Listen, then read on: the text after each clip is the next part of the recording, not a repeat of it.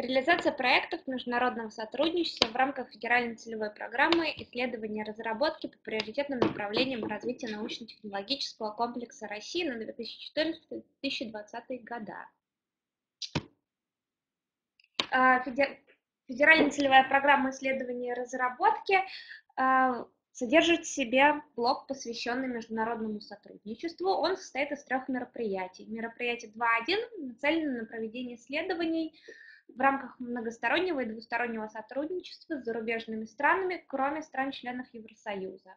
Мероприятие 2.2 нацелено на поддержку исследований в рамках двустороннего и многостороннего сотрудничества со странами-членами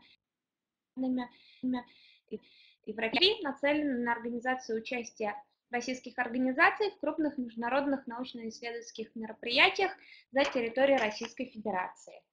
Рассмотрим поподробнее мероприятия 2.1 и 2.2.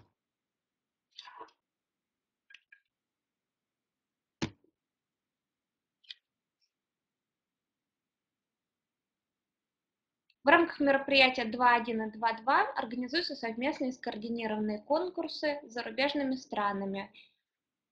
А, на данные конкурсы выделяется в среднем по 15-20 миллионов рублей на проект в год.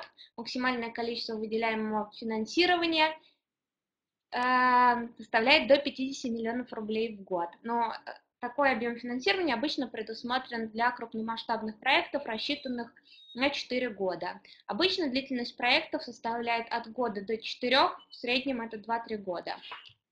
Обязательным требованием для участия в, мероп... в конкурсах мероприятия 2.1 и 2.2 является наличие софинансирования со стороны иностранного партнера, которое должно составлять а, не менее 50% от общей суммы проекта. Соответственно, 100%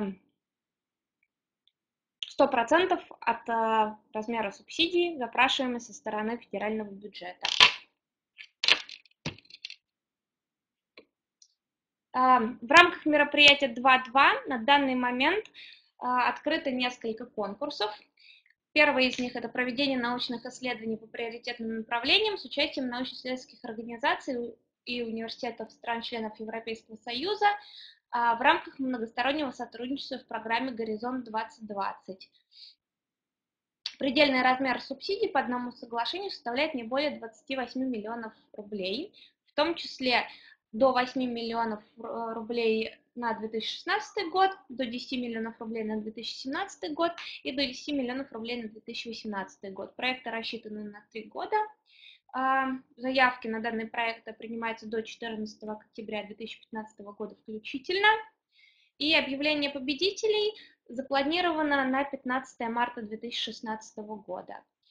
А, на сайте Федеральной целевой программы существует а, объявление со списком приоритетных тематик, в рамках которых возможна подача заявок на данный конкурсный отбор. Министерство образования и науки провело экспертные Э, комиссии, в рамках которых были определены, определены а, те тематики рабочей программы «Горизонт-2020», которые представляют наибольший интерес для развития научно-технологического комплекса Российской Федерации. И именно по данным тематикам будут поддерживаться совместные проекты. А, также необходимо обратить внимание на то, что на момент подписания соглашения о предоставлении субсидий с победителями данного конкурса участник конкурса э, должен будет предоставить копию грантового соглашения или приглашение к подписанию грантового соглашения со стороны координатора консорциума, либо со стороны Европейской комиссии.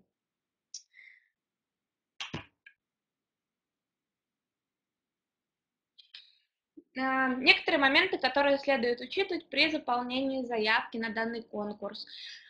А, в состав заявки необходимо включить заверенную печатью, кон... участника конкурса копию письма от координатора международного консорциума. А, письмо от координатора предоставляется на бланке организатора, координатора а, организации координатора консорциума и за подписью данного координатора. Письмо составляется на английском языке в свободной форме, но там необходимо указать следующие позиции. Наименование конкурса в рамках программы «Горизонт-2020», на который подается зеркальная заявка координатором консорциума в Европейскую комиссию, А, название и акроним проекта, он также должен совпадать с названием акронимом проекта, который был подан в зеркальной заявке в Европейскую комиссию. Дальше подтверждение участия участника конкурса в консорциуме а, и дату подачи зеркальной заявки координаторам на рассмотрение в Европейскую комиссию в рамках программы «Горизонт 2020».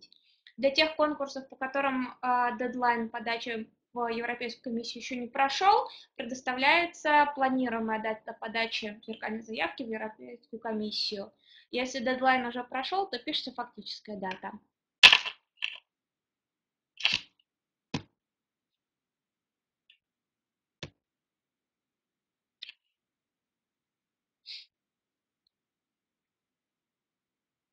Помимо этого, а, открыт конкурс многосторонних и двусторонних проектов на проведение исследований по приоритетным направлениям развития научно-технологического комплекса Российской Федерации с участием научно-исследовательских организаций и университетов странах-членов Европейского Союза.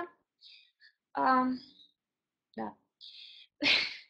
Предельный размер субсидий по одному соглашению составляет не более 13 миллионов рублей в год на проект. Проекты двухгодичные на 2015 год а, можно запрашивать до 7 миллионов рублей в год, а на 2016 год можно запрашивать до 6 миллионов рублей. При этом, если происходит сокращение запрашиваемого бюджета, то оно должно быть пропорциональное по годам. То есть нельзя запросить на 2015 год э, половину от предельной суммы и при этом на 2016 год полную предельную сумму. Приоритетные направления исследований, в рамках которых поддерживаются проекты. Науки о жизни, индустрия наносистемы, рациональное природопользование, энергоэффективность, энергосбережение, ядерная энергетика, информационно-телекоммуникационная система, транспортные и космические системы. Заявки принимаются до 4 сентября 2015 года включительно. Объявление победителей не позднее 1 октября 2015 года. Также на момент подписания соглашения о предоставлении субсидий участник конкурса должен предоставить копию подписанного соглашения или протокола или меморандума с иностранным партнером о выполнении совместного проекта. Если совместный проект выполняется с несколькими иностранными партнерами, то все иностранные партнеры должны быть включены в данный документ.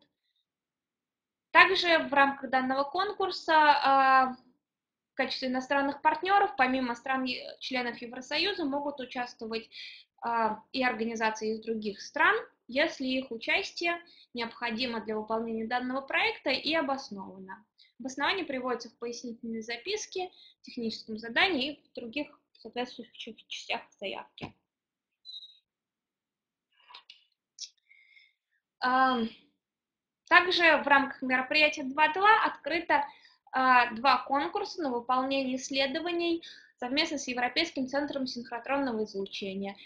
Один конкурс на 2015 год краткосрочный и второй конкурс двухгодичный на 2016-2017 года.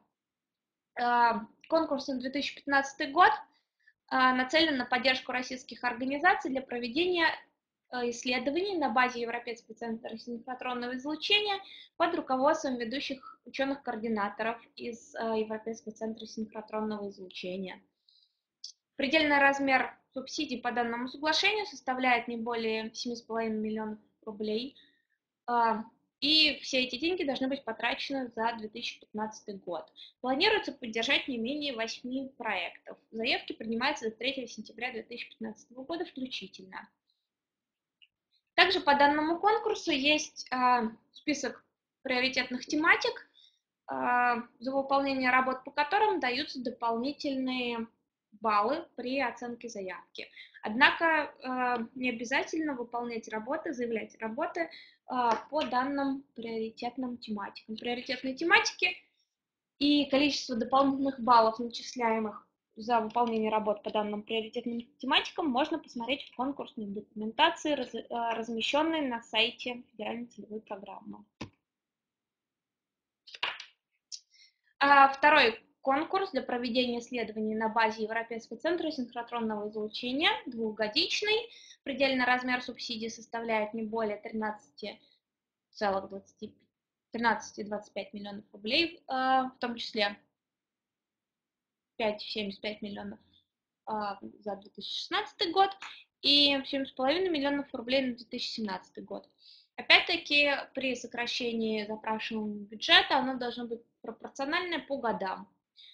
А, заявки принимаются до 14 октября 2015 года. А, на самом деле сейчас прием заявок будет продлен до середины декабря 2015 года. За актуальной информацией также следует обращаться к объявлению, размещенному на сайте Федеральной целевой программы. Начало проектов планируется в начале 2016 года. И на момент подписания соглашения о предоставлении субсидий участник конкурса должен предоставить копию согласованного плана выполнения работ по данному проекту на базе ЕСРФ. И документ должен быть подписан руководителем работы по проекту с российской стороны и руководителем работы по проекту со стороны иностранного партнера ну или ведущим ученым-координатором, если данные работы выполняются под руководством ведущего ученого-координатора. Опять-таки существует список приоритетных тематик, за которые начисляются дополнительные баллы. А, список можно посмотреть в конкурсной документации, размещенной на сайте. Однако, если работы выполняются вне рамок данных приоритетных тематик, это не является причиной для отклонения заявки от конкурсного сбора.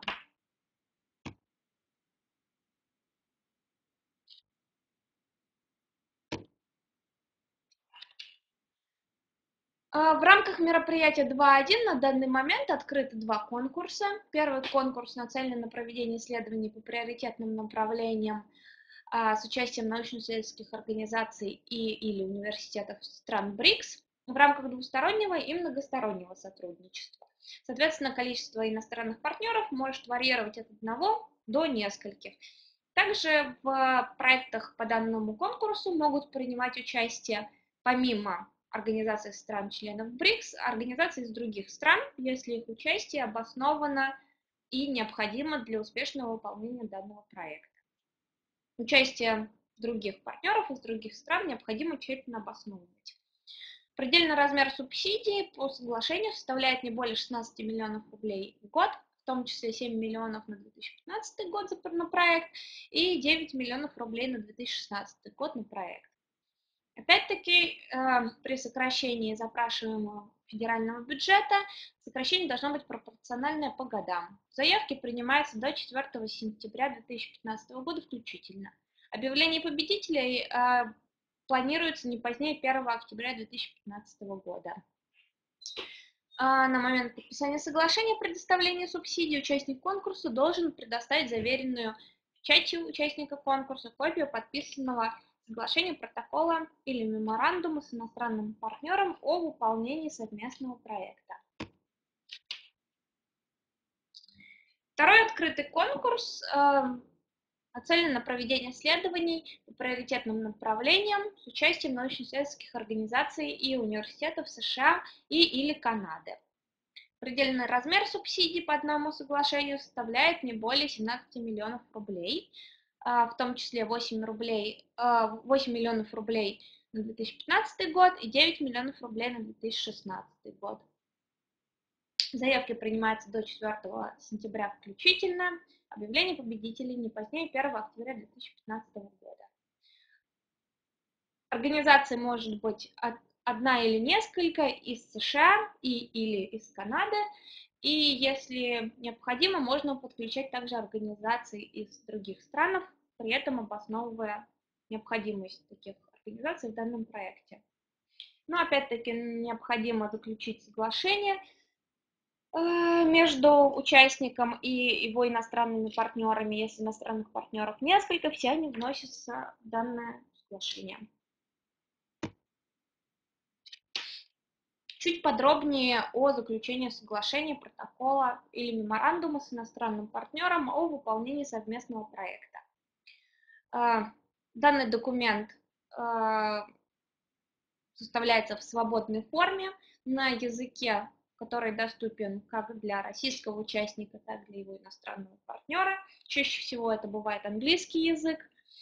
А, если, допустим, вы сотрудничаете с организациями из СНГ, то логично, что это будет русский язык. Но язык договора исключительно усмотрение участвующих сторон. Документ в обязательном порядке должен включать название проекта, акроним, если есть, сроки выполнения работ, объемы выделяемого финансирования на совместный проект с каждой стороны. При этом хорошо прописать, откуда берется финансирование у иностранного партнера. Также должны быть прописаны условия взаимодействия, э, распределение работ между партнерами за каждый этап проекта. Просьба обратить внимание, что этапность выполнения проекта у российских исполнителей и зарубежных может отличаться, поэтому э, этапность выполнения работ и временные рамки выполнения работ с обеих сторон необходимо согласовывать заранее до заключения такого протокола меморандума и тем более до заключения э, соглашения предоставления субсидии э, так как российскому участнику еще придется отчитываться за работы, проделанные иностранным партнером, причем в сроки, предусмотренные а, официальными правилами федеральной целевой программы. И также необходимо включить пункт о порядке распределения а, совместно полученной интеллектуальной собственности. В конкурсной документации обычно приводится рекомендуемая фраза о распределении прав интеллектуальной собственности, однако если исполнитель считает, что а, данная приведенная фраза не соответствует тому, как правильно распределять интеллектуальную собственность по данному проекту, а, может предложить любую свою формулировку. А, главное, чтобы распределение прав интеллектуальной собственности было в обязательном порядке прописано. Такое соглашение подписывается обеими сторонами. Если в проекте участвуют несколько зарубежных партнеров, соответственно, название всех организаций, участвующих туда, вносится и подписывается всеми э, участниками, как с российской стороны, так и с зарубежной стороны. Соответственно, если там два иностранных партнера, то соглашение будет трехсторонним, если три иностранных партнера, то четырехсторонним и так далее. Оригинал хранится э, непосредственно у исполнителя, министерству его предоставлять не надо, достаточно предоставить сканированную копию.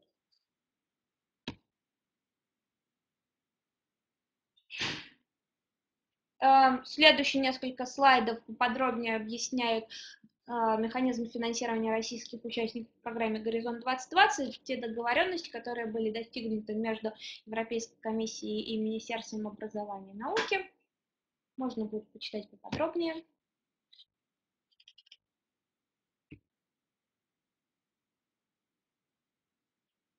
Также на сайте а, представительства ЕС в России, на сайте э, Европейской комиссии а, есть ссылка на то, что э, на объявление о том, что Министерство образования и науки поддерживает российских участников э, в программе «Горизонт 2020» по определенным тематикам. И также представительство Европейского Союза и Минобрнауки завели отдельные имейлы Э, для корреспонденции по вопросам участия в программе «Горизонт 2020». Если будут какие-то специальные вопросы, можно их направлять по данным адресам. И также большая просьба перед тем, как подавать заявки, очень внимательно ознакомливаться с конкурсной документацией по вашему лоту. Конкурсная документация от лота к лоту варьируется. Э, количество запрашиваемых документов – в связи с международной спецификой также от лота к лоту варьируются, поэтому еще раз большая просьба внимательно ознакомливаться с конкурсной документацией и не допускать технических ошибок, а, ведущих формальному отклонению даже очень хороших заявок от конкурсного отбора. Всем удачи!